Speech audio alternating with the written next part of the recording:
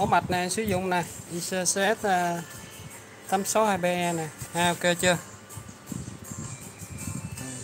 Con công suất này này con à, tạo eco nè ha. BT299 nè. Bluetooth nè. Có 5 volume ha. Đây 5 volume volume bát chép eco microphone ha. Công tắc ha này à, mình à, nhấn mod để chuyển trạng thái ha. Chuyển qua bluetooth này ha. Đó. thì nhìn em à, FM này ha. Anten FM này Đó, anten FM thì anh em khi bắt bluetooth là phải nhớ phải chuyển mod này Đó. chuyển mod thì mình. Này có cái đèn báo bình luôn này ha. Đèn báo bình.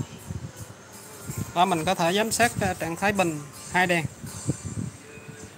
ha. Khi sạc á, thì nó là màu đỏ. Khi đây nó chuyển màu xanh. Led này nó có ba chân nè ha. Ba chân thì đổi màu. Đổi màu được. Đối với cái mẫu mạch này nó có công suất là 80W nó cho mình uh, sử dụng lo 3 tấc. Hoặc là hai tấc đôi hai tấc đôi. Đây ngõ ra lo này à, đối với uh, lo hai uh, hai tấc thì sử dụng lo hai tấc đôi. Thì ờ, mình có thể ghép hai lo 4 ôm hoặc là 8 ôm ha. 8 ôm thì mắc song song 4 ôm mình mắc nối tiếp là Đó. công suất phải đảm bảo nó là 80W ha. Đó, chứ không phải sử dụng lo hai tấc lo nào cũng được anh ha. Mình phải đảm bảo đúng công suất này phần sạc bình này ha. Có sạc bình. Ha. Mẫu này thì à, đánh âm thanh à, tốt ha hay ha. Cao cơ thì ok. Sử dụng bình. À, khi mua à, mình sẽ kèm theo cục sạc nè sạc bình nè. À, lắp bình vô đây nè ha. Đây, chỗ lắp bình mình lưu ý lắp bình phải đúng cực ha. Lưu ý lắp bình phải đúng cực. Bình sử dụng là 12V 5 đến 7 AH ha 5 đến 7 AH và kèm thêm một cái remote nữa. Đây phụ kiện đầy đủ của nó nè. Này dây lắp micro nè ha. Đó. Vậy anh em uh, biết cái dây này gì gì? Đó, lắp micro không dây. Mình mua thêm bộ micro. Mình kết nối vào. Đó đối với những cái à, mẫu mạch bên mình thì khi mua mic bên mình thì chỉ việc việc cắm vào là sử dụng. Đó.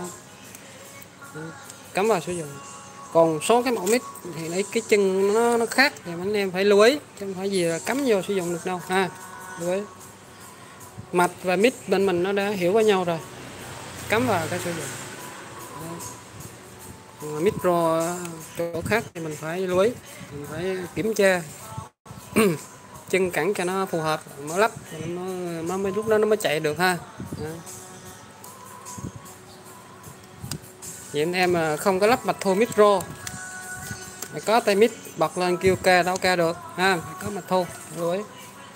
Đó bộ mic thì ro thì nó sẽ có một mạch thu và một cái à, micro kèm theo. Mic đơn thì một tay mic mic đôi hai tay mic ro ok không?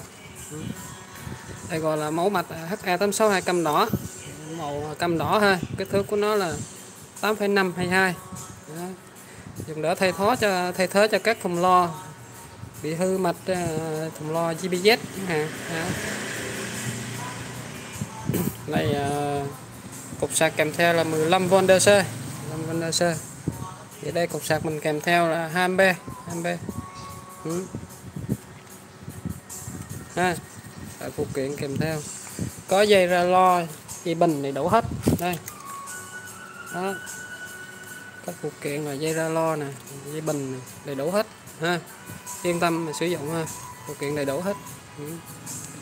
thì đối với cái cái phần ở ra lo một cổng mình sẽ kết nối. Phải bắt buộc à, đòi hỏi là lo chép phải lo chung phải qua tụ ha. Đó, còn còn lo bát thì kết nối trực tiếp thẳng qua. Okay. ừ.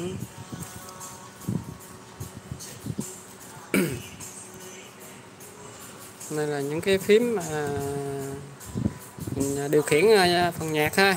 Phần nhạc. A, audio input. Để mình kết nối với à, tivi kết nối với tivi đó. Thì uh, khi mình kết nối với tivi thì các anh em lưu ý là, là, là để chế độ like ha. Chế độ like mình mới kết nối tivi được. À. còn là khi mình bắt uh, điện thoại thì mình chuyển qua chức năng bluetooth. Đó còn anh em nào mà thích nghe FM dò đài thì chuyển qua chế độ FM đây. Thì đó có đây có dây anten sẵn nè anten FM sẵn nè. Đấy.